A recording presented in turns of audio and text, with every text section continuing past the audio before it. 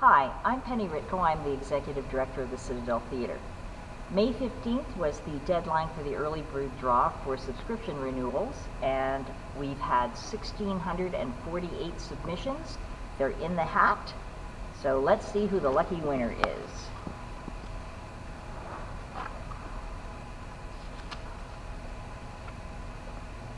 Manisha Kurana, congratulations.